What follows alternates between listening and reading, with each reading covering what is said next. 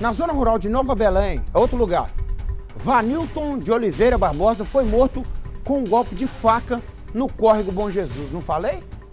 Aí, revólver, faca, não interessa o que é, não. Aí. A polícia chegou até o local após receber denúncias de que o suspeito da ação criminosa estaria ameaçando pessoas em frente a um bar.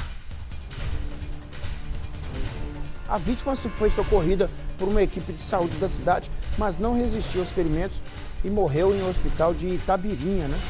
Nova Belém, bem perto ali, né? Segundo informações, o homem fugiu do local em uma moto, mas foi preso. O sargento Gelsimar Gomes, ele estava nessa ocorrência, ele vai contar como é que foi. Põe ele para falar, Jarão. Tinha posse já informações, né?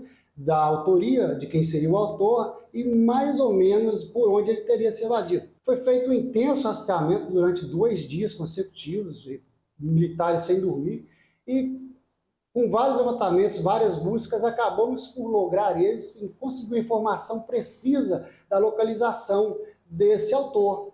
É, então, de posse dessa informação, nos deslocamos ao local, no Código Paudalho, nas adjacências, sendo que lá, após o apoio de uma outra equipe também da, de Ataleia, né, conseguimos lograr êxito em capturar esse indivíduo, né, e agora estamos aqui na delegacia aguardando os procedimentos dragados. Esperamos que o, que o flagrante seja ratificado, uma vez que nós não cessamos do encalço do autor, tivemos uma certa, é, uma certa resistência por parte dele, porém havia um grupo bom de militares, né? não tinha como ele escapar, ele viu que não tinha jeito mesmo, nós acabamos logrando isso, ele acabou se entregando, né? Aí conseguimos prendê-lo.